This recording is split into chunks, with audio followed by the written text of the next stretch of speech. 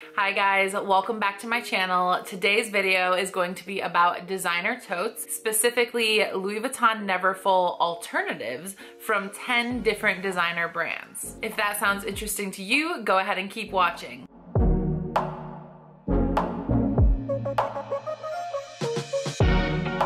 My name is Rachel. This is my YouTube channel, Rachel Went Shopping. If you love fashion, handbags, luxury brands, then you might wanna check out some of my other videos and consider subscribing. So today's video is all about Neverfull alternatives. As you guys are aware, there are many different types of tote bags. You've got north-south totes, east-west totes, work totes that are more structured and organized on the inside, market totes, travel totes, lots of different types of totes, and they all serve different purposes. The Neverfull specifically is an east-west west tote, which means that it is more wide than it is tall. The MM and the GM specifically are the most popular sizes. The MM is 12.6 inches across and 11.4 inches high. The GM is 15.7 inches across and 13 inches high. The Neverfull is a completely wide open tote. It has no zipper closure, but it does come with a zipped pouch attached that you can remove. The Neverfull has two shoulder straps that fit comfortably under your shoulder and it can actually hold up to 200 pounds hence the name never full because you can stuff it full of uh, tons of things. So today I'm going to be talking about totes that are similar in shape, size, and function to the Neverfull specifically. So one of the popular complaints about the Neverfull is that everybody has it. And if you're looking to be different and not have a bag similar to everybody else, this is the video for you. A lot of people say that the Neverfull is basic, that everybody has it. I'm guilty of saying that myself. So that is why I wanted to give you guys more options. I have right here my only Neverfull. This is a GM special edition collaboration with Murakami that came out in 2007. As you can see, it is gigantic. I myself prefer Neverfulls in special editions, whether it's a collection or a collaboration. I think that adds a little more uniqueness to the bag, and we'll talk about that more at the end of the video. If you guys previously watched my Game On unboxing, if you haven't yet, I'll link it above. You will know that I did purchase the black Game On version in the MM size. I did end up returning that bag though because it did have some quality issues as well as the fact that I didn't need four bags from that collection. So currently this one right here is the only one that I have. I do have one more on my wish list that I'm considering getting in the future that I really regret not buying, which is the Stephen Sprouse collaboration from 2009 with the neon graffiti on it. So maybe one day I will add that to my collection. Okay, let's get into this list, which I'm going to do my best to price from high to low. Just for reference, the Neverfull PM currently retails for $1,460. The MM retails for $1,540 and the GM retails for $1,620. So the first tote bag I have on this list is the Bottega Veneta Acro tote in medium size. It has three rows of interwoven leather. It just looks so unique and true to Bottega, super high quality materials and construction, exactly what you would expect from a luxurious Bottega leather. This bag is pretty big. The size is very relatable to the GM size Neverfull. I really love the exaggerated woven leather, which is very true to Daniel Lee, who sort of took that traditional Bottega technique and blew it up and made it even bigger bigger, which I think is super cool and visually appealing. I think in this case, the bag is expensive, but the price is justified because it is made of fully leather in comparison. The Louis Vuitton Neverfull is made of canvas. You also have this very unique and more difficult construction of interweaving the leather. Next on my list is the Park XL tote bag from The Row. This retails for $2,400. This tote bag has a very slouchy, oversized look, very reminiscent of my memories of the Olsen twins in childhood carrying these huge slouchy bags that were essentially bigger than themselves. This bag is made of calf leather and it has tiny branding just says the row right in the middle there in gold stamping. I think this bag is very clean, understated luxury, but it is very expensive at that $2,400 price point. And I think you'll see why that is expensive once we get to the Saint Laurent tote on this list, which is quite similar for a lot less money. Third on my list, I have Celine. This is the medium Cabas Phantom tote in soft grained calfskin for $1,950. Now I will admit when I first saw this, it was giving me more north-south tote vibes, but when I saw it on body, it is definitely wider than it appears in some of the images. It again has that more big slouchy leather tote vibe. It has the word phantom in the name, which is sort of those side wings that you're used to seeing from Celine, which are on this tote and give it that wider look. This bag is 11 inches high and 14 inches wide, so it is more relatable in size to the MM Neverfull. Celine is known for their beautiful supple leathers and their modest branding. This bag has an inner zip pocket and double flat pockets, but it does not include a removable pouch like the Neverfull. There's also a functioning belt tie at the front, which I'm not really sure how you would use. It is functioning, but I'm not sure that that would really have much of a purpose. For a simple leather bag, this one is $450 cheaper than the row one that we just discussed, but it is still a high price point at just below 2000. So all of these bags discussed so far are fully made of leather, which is different from the Neverfull that is made of canvas. So that is why they have higher price points. Next, I wanna get into Goyard, which is also made of canvas. So it is much more similar to the Neverfull in material. Okay, everybody, of course, the second I sat down to film this, my neighbor started cutting his lawn. So I really hope there's no background noise. Forgive me if there is. The next bag on this list is Goyard, specifically the Saint Louis tote, but I do have a couple other honorable mentions, which are the Artois,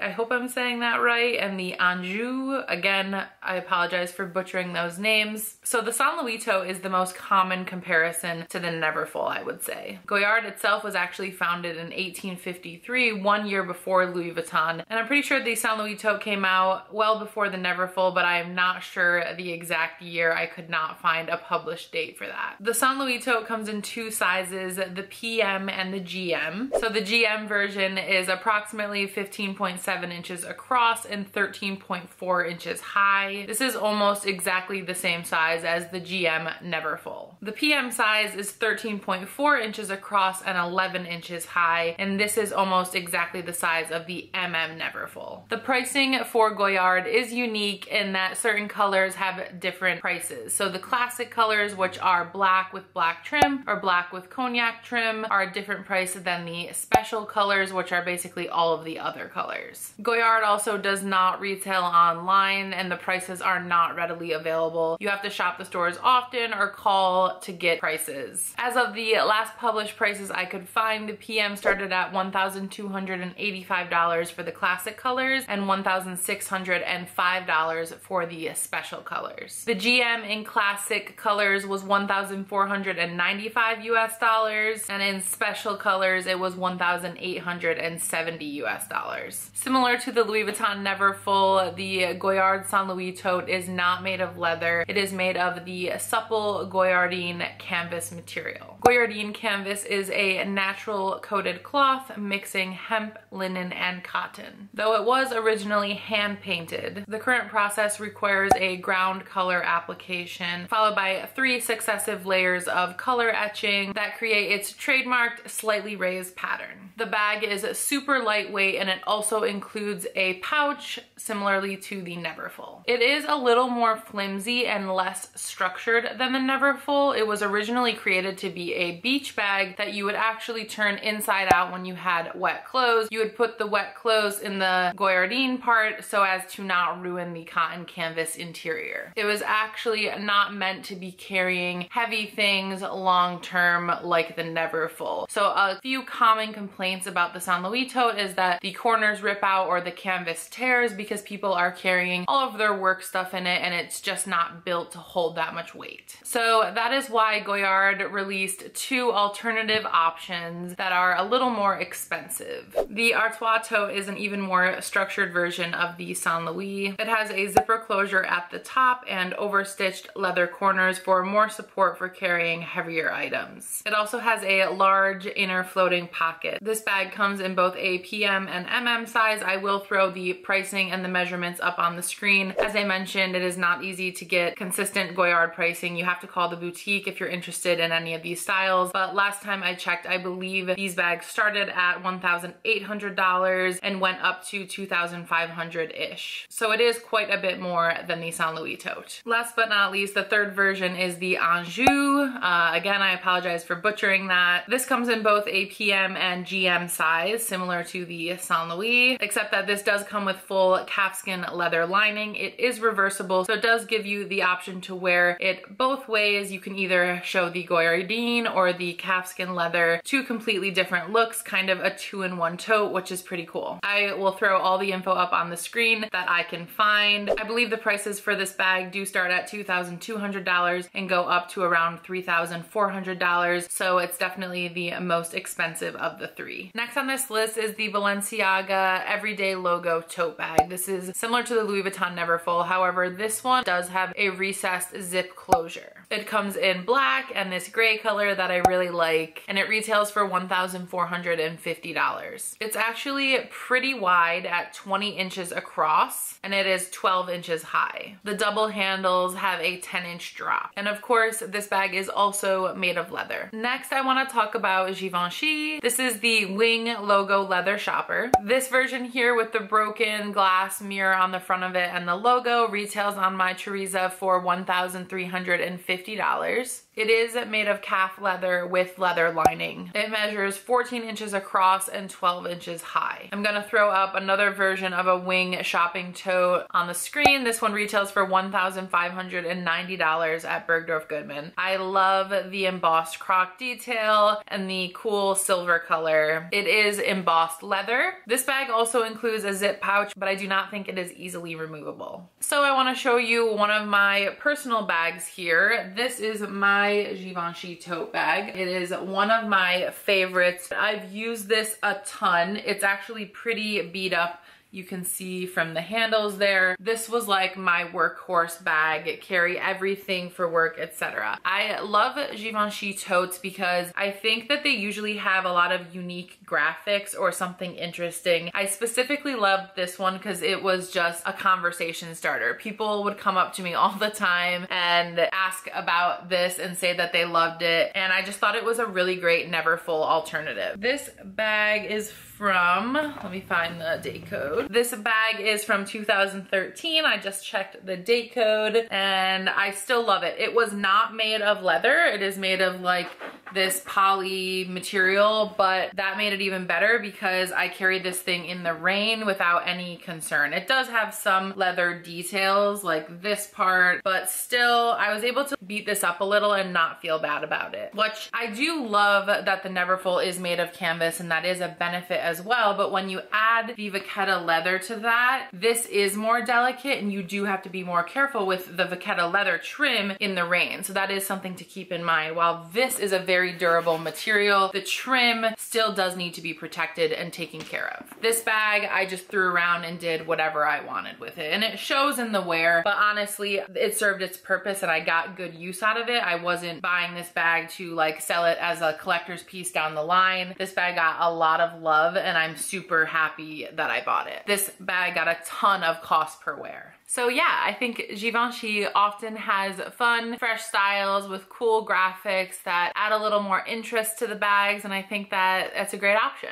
One other Givenchy style that I would mention that was a little more of a north-south tote so it didn't make the full list is the Antigona soft large leather tote. This is a newer style designed by Matthew Williams and it has that new piece of signature hardware on it that is really cool as well as the straps on the outside side that kind of go all the way down to the bottom. I thought this was really unique. It does retail for $2,150 $1,390, which is kind of a lot, but it is leather and it measures 14.5 inches wide and 14 inches high. So it's pretty much a square. It's only slightly wider than it is tall. It does have a good amount of handle drop though, so that it can fit comfortably under your shoulder. And I just think the styling is really cool with that hardware buckle. It looks edgy and cool and different, but yeah, it's pretty expensive. Next, let's talk about Gucci. The Ophidia medium GG toe is super cute. It has the classic GG monogram with the red and green striping down the middle and shiny gold hardware. This bag retails for $1,350 and it is also in a canvas material similar to the Louis Vuitton Neverfull, so it, that makes it a little more durable. This bag measures 15 inches across and 11 inches high, and it has a magnetic snap closure and an internal zip pocket. That size is right in between the Louis Vuitton MM and GM style. This bag features the beige ebony GG Supreme printed canvas, which is a very classic to the brand. I love the heritage vintage look to this piece. It also comes in a few different color options, a black and then this like denim blue option as well. But I think this GG Supreme classic colorway is my favorite. It just has that vintagey heritage look that I'm really into right now. Next on my list is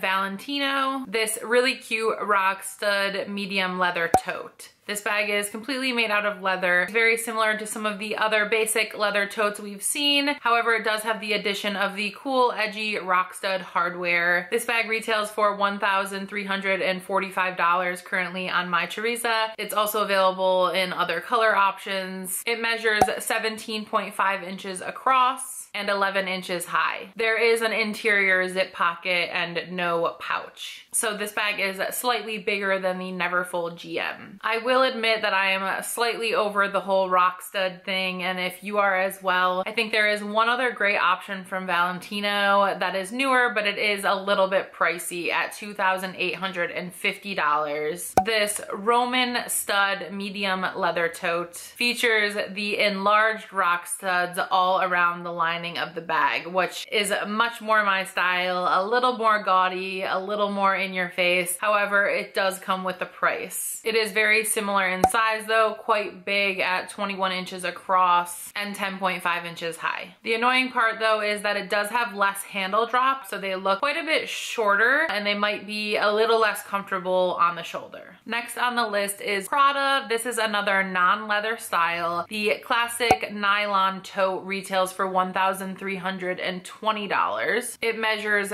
just under 14 inches wide and around 11 and a half inches high. It has Saffiano leather handles and a pocket with magnetic closure. And of course it has the classic Prada branding of the enamel triangle logo right in the center of the bag. This bag is the second on the list to include a zipper closure.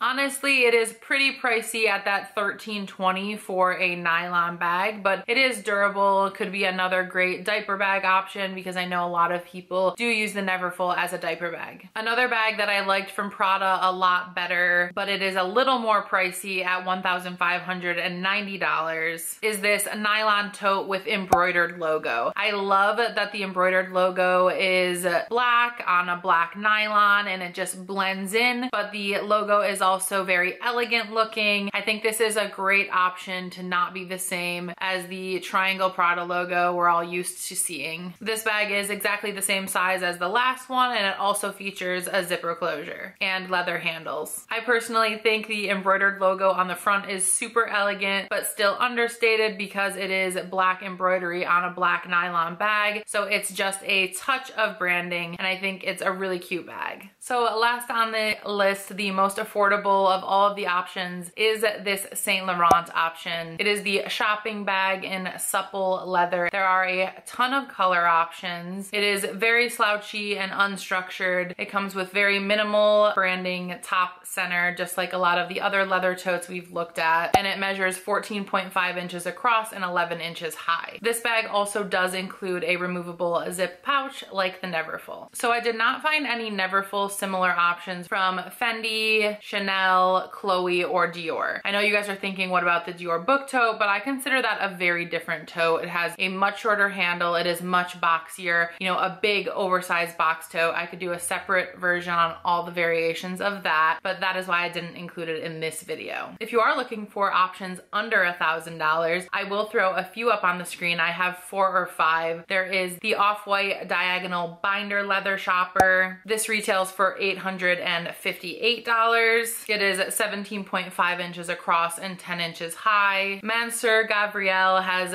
two really great options. I personally am loving this tie-dye oversized tote. Super cute, $795. There is also a basic leather version for $615. And then of course the MCM shopper tote retails for $650. This also comes with the removable pouch similar to the Neverfull. The MCM Liz shopper tote is 14.2 inches across and 11 inches high. And last but not least, the Madewell transport tote is a super popular unstructured leather shopping tote option. This retails for $168. If you are looking for a basic leather tote and you do not care about brand names, this is the bag for you. It measures 14 inches across and 13 and 3 quarters inches high. It is much more square, not a ton wider than it is tall, but this will definitely do the trick if you're not looking to break the bank on a basic leather tote. Okay guys, that is all the totes on my list. The last thing I wanna leave you with when you're considering other designers is just to take a look at resale value if that is something that's important to you. The two bags that hold their value the most on this list, I would definitely say are the Louis Vuitton Neverfull and the Goyard totes. So that may be something you wanna take into consideration, especially if you're going to be using this bag every day. And if you are, I would still suggest that you try your best to take very good care of it. If you know this is something you're going to be using and abusing, you might wanna spend a little less money or you might want to look at something that is in a very durable material. When it comes to Louis Vuitton Neverfulls, I've said this and I'll say it again, I don't like having the same bags as everyone else and I know this is a common bag, so I personally love getting the special editions or the unique versions of this bag. And that being said, they may set you back a little more money, but again, I think that they're worth it, especially if you pick the right ones. They may increase in value even more over time. That is it for this video. Thank you so much for watching. If you enjoyed this content, please go ahead and give it a thumbs up. Comment down below what your favorite totes were from this video and which ones you think are not worth the money. If you love handbags, fashion, and luxury, please consider checking out some of my other videos and go ahead and subscribe to my channel for more interesting handbag content. I'll see you all in the next one. Bye bye.